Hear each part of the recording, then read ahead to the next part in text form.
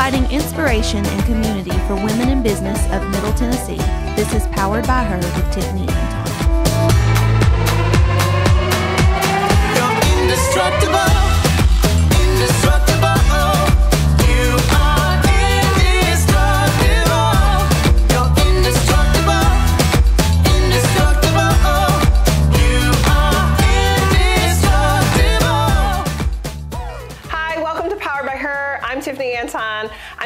Excited that you're joining us. If you want to know more about Powered by Her, you can go to poweredbyhercommunity.com, find out all the things we're doing, find out ways to support us, and definitely buy a t-shirt to represent the swag of Powered by Her.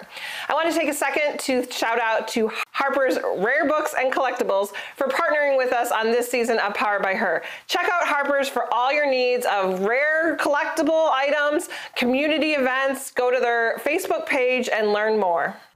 On today's episode, I have Jen and Cara from Leisure Services, and I guess you guys are like the dynamic duo. I feel like you Yeah. often don't see one without the other. That's true. That is true. Um, I, I think maybe you do exist without the other. Oh yeah. Oh yeah. Yeah. Sometimes. We we did we had to go to different churches so that there was something that Yeah. was different. Yeah. We, couldn't, we couldn't do this. so that people could like, we're, are- do people go, who's who again? Yes, What's very what? Yeah. much. They'll go, "Hey Jen," and Yeah. I'm like, "I'm Yeah, Cara." yeah, yeah, A lot. So you guys are with Leisure Services, Mm-hmm. and I had met you years ago, um, kind of supporting the MOPS program that we have in town, Mothers of Preschoolers.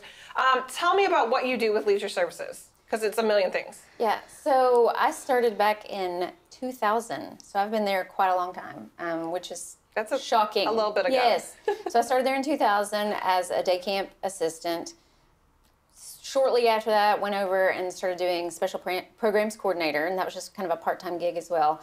2005, I started my current job now, which is recreation superintendent, and I've been doing that ever since. So I'm out at the Cane Creek Rec Center, and we have programs from fitness, camps, special interest classes, big special events, um, and just all of those things that happen there. So Jen, Leisure Services, kind of explain what that is in, in relation to the city, to the programs that are on.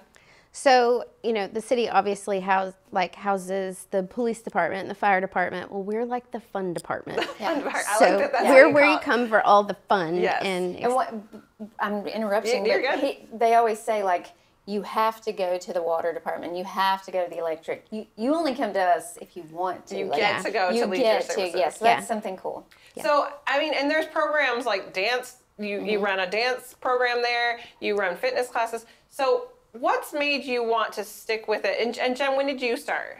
So I my story is so similar to hers. So in 2001, I started as a day camp counselor and then hung around until I graduated from tech and then just sort of fell into the special programs coordinator and I'm still there now. So recreation isn't what I went to school for, but it was like you it's recreation. Like it's so fulfilling and fun like you can't you can't leave. Well, and so what has made you feel like this is kind of where you wanted to stay and kind of move up to superintendent, Cara?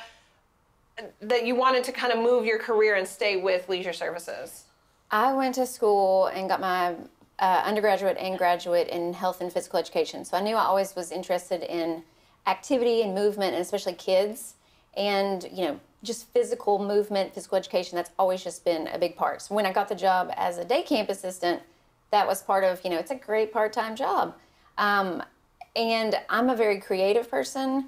And as I stayed on and got to do these other programs, that's been what's kept me there. I'm never bored. Like I'm dying to be bored. Like at some point, just to be like monotonous, like just doing the same thing over and over. But I get to use that creativity to come up with new programs or to just come up with all kinds of different um, things that go along with the programs. Yeah, and with event fitness themes. and yeah, it's just it's piqued all those things that I love um, and that interest me, and so it's just like the best job. Do you feel me. like you've gotten to, eh, you've been able to have the autonomy to kind of make the position what you wanted it to be? Yeah, and we have an amazing director, Rick Woods, and he has given us a lot of freedom to do those things. And I think without that, it would be really hard.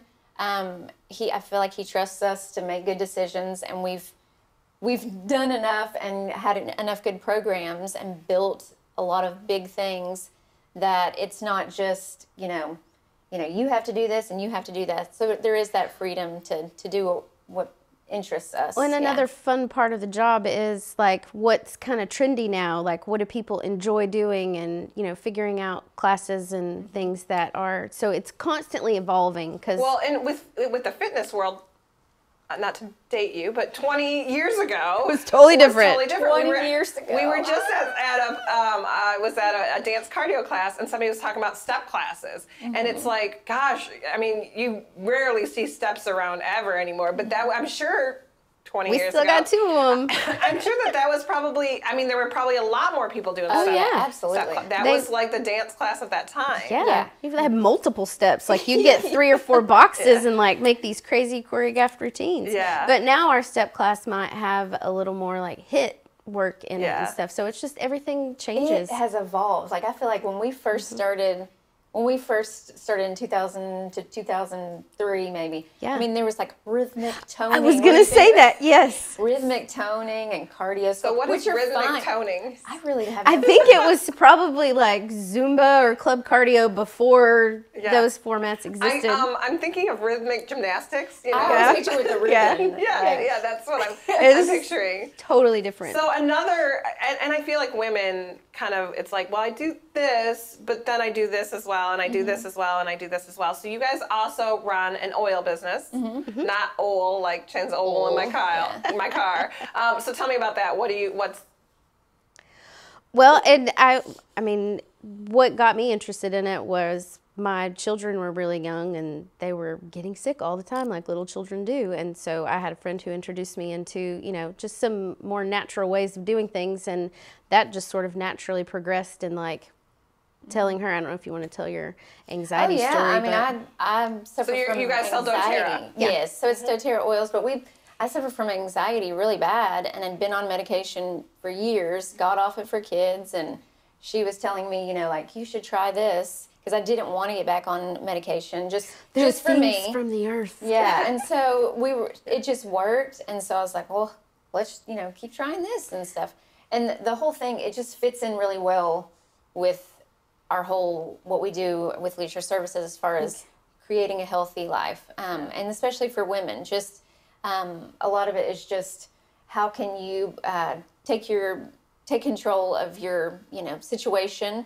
Um, Giving them and- options. And yeah, and giving you the tools to do stuff. So, and it's not just oils and just, you know, Yeah. sniffing oils and rubbing oils. There's different supplements that help you and, and stuff like that. So it's just really, it's been beneficial for us and teaching women how to, um, the options that they have other than just um, the, the traditional ways of, of what yeah, we do. just not being life, yeah. overcome by your circumstances, Yeah. like just finding other ways. So, you know, I was just telling another mom recently about how women are just they're they're such an anchor in their families and in, in environments. And so if you're not taking care of yourself um, personally and it, it, it goes everywhere. And so if you're not working out and kind of getting out that aggression or the stress that you have in your life or or eating healthy or taking care of your body it just can bleed over into so many other things. Yes, Yeah. and it's so easy to stop doing those things when you get um, overwhelmed. Mm-hmm. Like you're the first person you stop taking care of,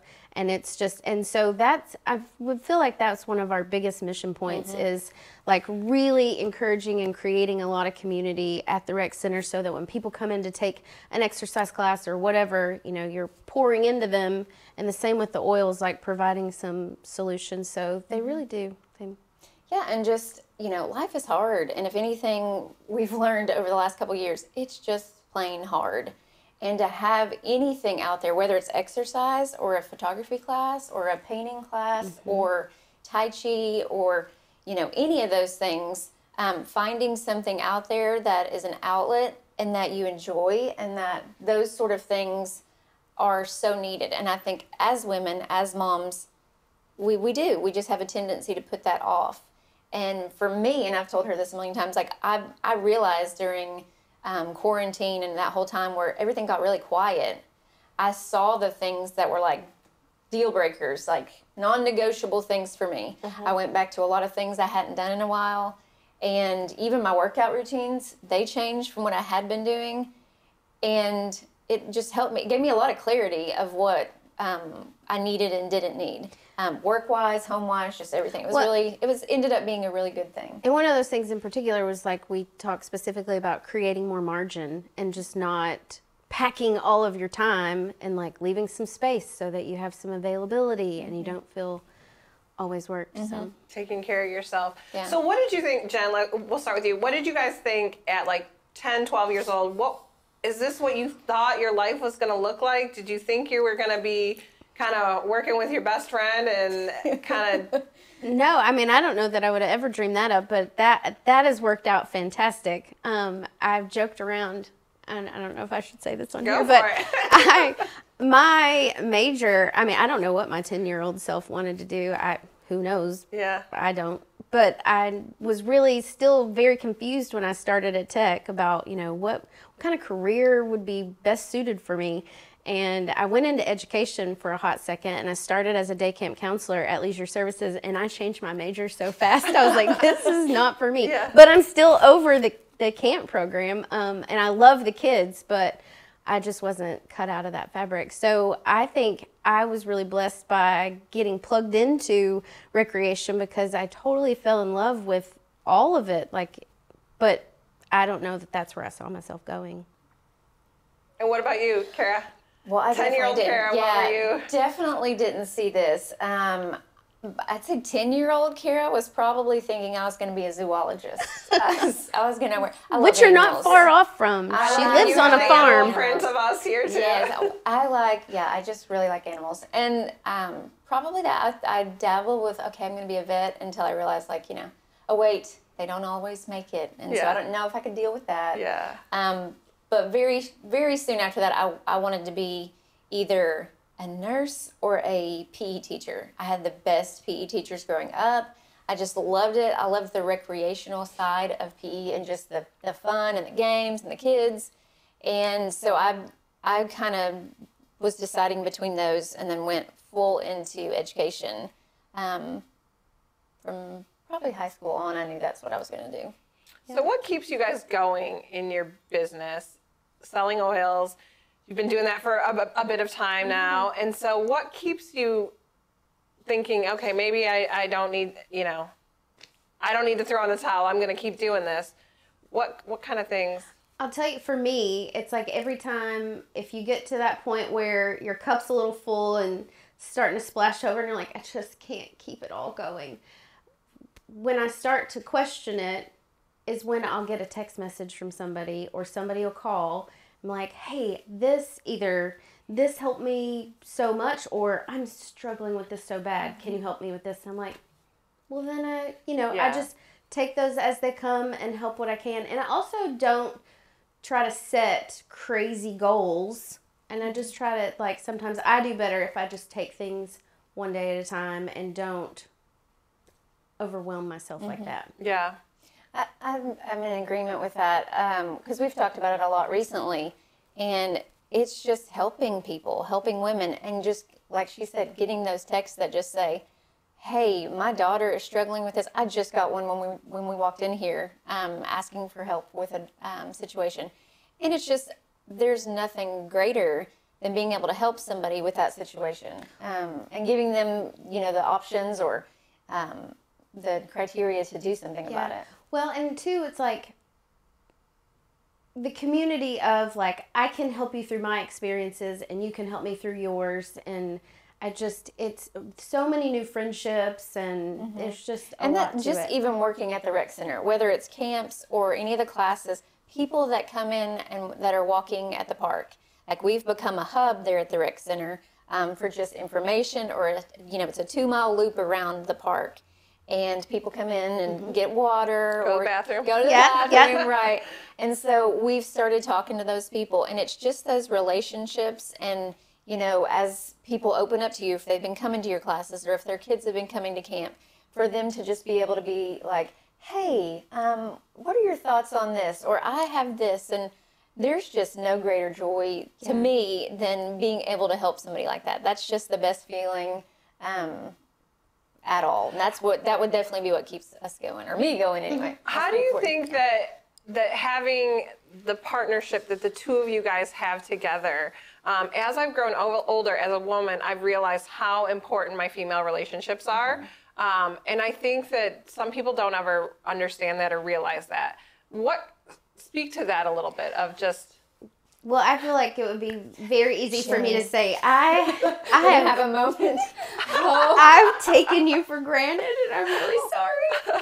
I, I mean, I really, I have. I've just, I'm. We were, I was in college when we met, mm-hmm. and we were working, you know, the same job, and it just, we had children around the same time, got married relatively close at the same time, and so she really has become more just like an older sister. Mm-hmm. She's older, um, but, but I, I guess because over well about half my life we're about at the halfway point i've had her around and you do you start to forget that not every woman has that. And it's only been just i guess kind of recent that uh, maybe during the pandemic when like you're taking that space and you're not around people as much but was like man i'm really lucky to have somebody that i can just like share all the ugly with or push you when things get hard and just mm-hmm.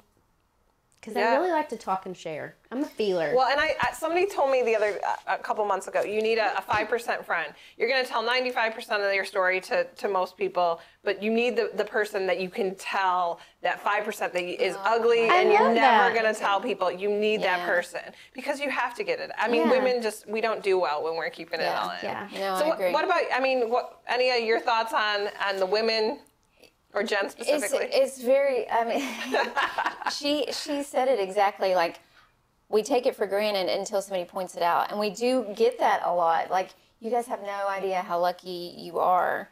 Um, and we don't just go to work and you know work with you know our work people and then have each other on the weekends or whatever or have to call or text. Like we're literally our offices are right beside each other and we work well together um, you know we we can bicker we can argue but we are easily able to figure that all out and it's just And I think that there's, I keep trying to t- teach my sister, not all conflict is bad conflict. Oh, yeah. And so sometimes there is conflict that's going to be good and push you guys further a- as Mm-hmm. a person yourself or your friendship. Um, and so that that is a good part of growing, and it's something that you need in life. You don't need necessarily friends that just say, "Yep, you're right, you're right, you're right, you're Yeah. right" all Oh, the time. no, No, we we're don't all into that. the self help and like digging Yeah. out the ugly. I mean, you could sit us on a Saturday with a cup of coffee. I'm like, I wonder why you do that. Yeah. yeah Like, we're what- pretty i mean we're What would what would make you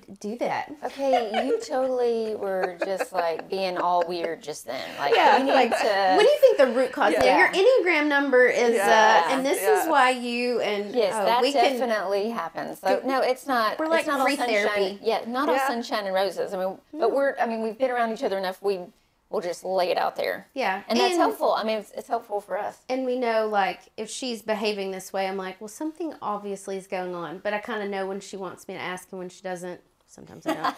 And vice versa. She like will message like, "You've been really quiet this weekend. Like, what's going on?" Yeah. So, well, it's but I think I, you know, I think, um, and I'm a single woman, but putting the society puts a lot of um, emphasis on marital relationships Mm-hmm. and not as much on the friend, the platonic friendships that exist. Mm-hmm.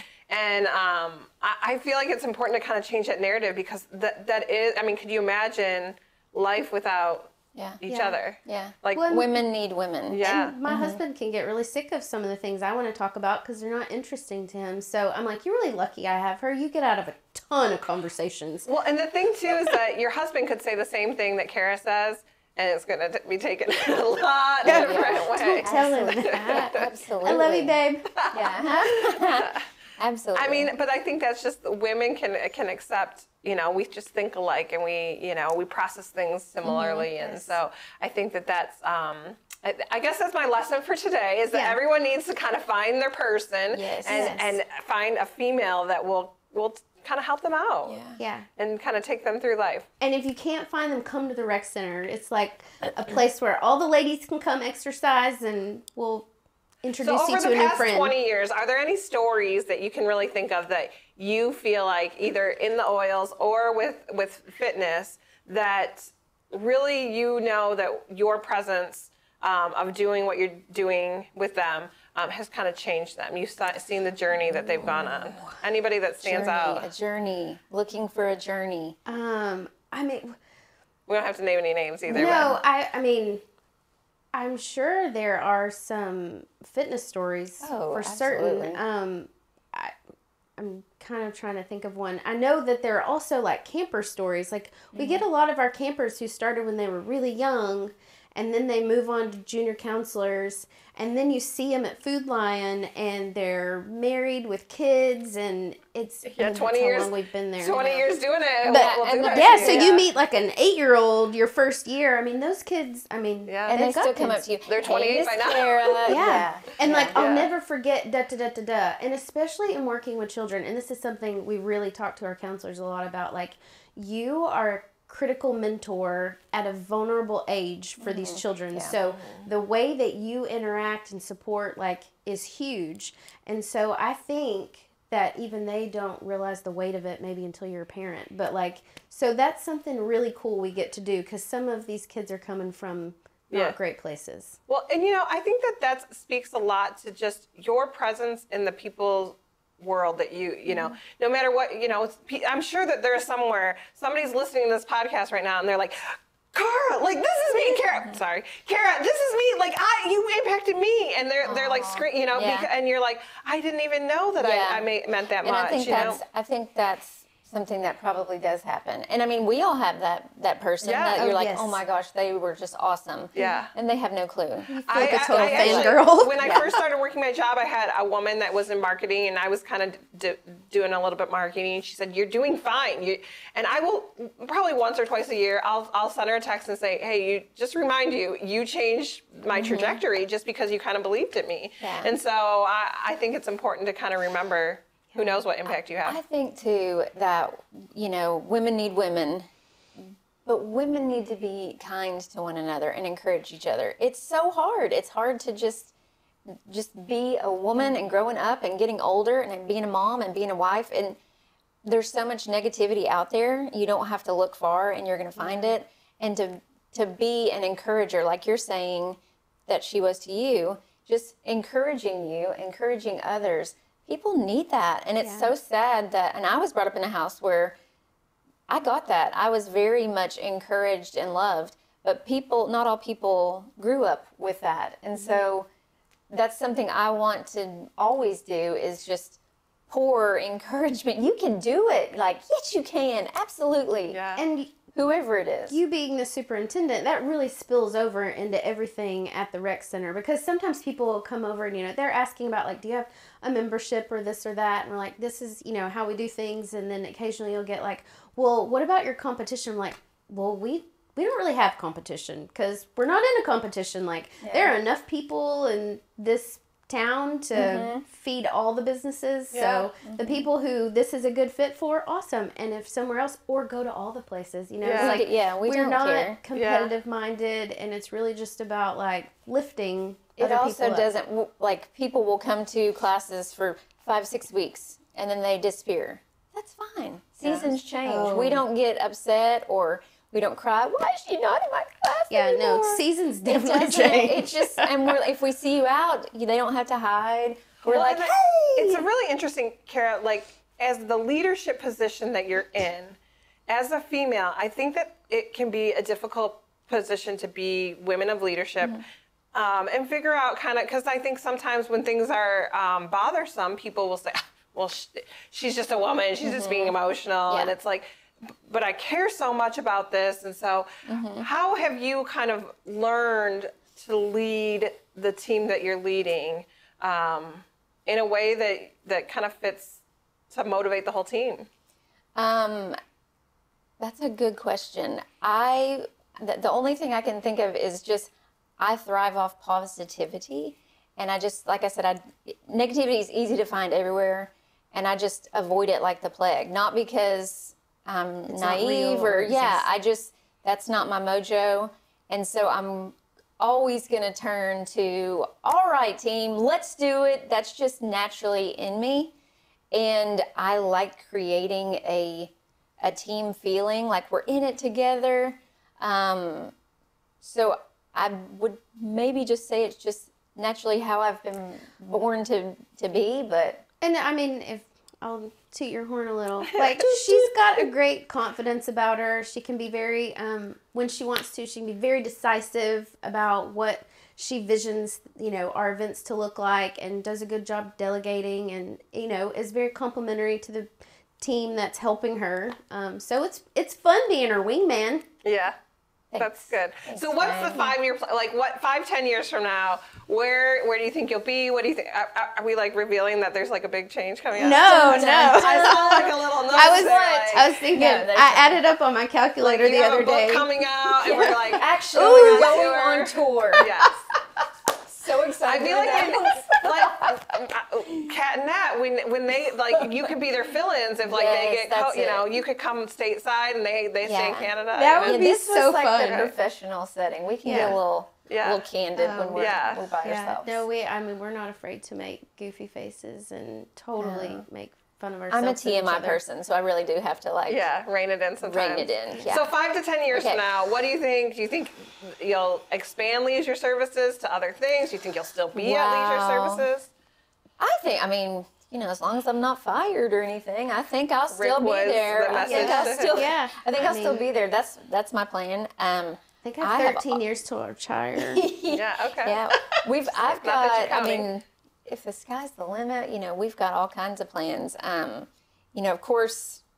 Uh, The, uh, there's a pool coming in. yes, so that's the biggest in. thing on the horizon right now, and hopefully in five years, like that'll be in action. Yeah. I would hope so. We'll be yeah. busting our campers over there. But Yeah. there's also, I mean, we've talked about if there were ever to be an expansion at the rec or Mm-hmm. a, like a, you know, a different, um, what do you call it? Like another facility, like a, Another building, a remote or a remote, something yeah, like, like, a rec like center if- too. yeah. So, Yeah. you know, at the programming that Yeah. would be Mm-hmm.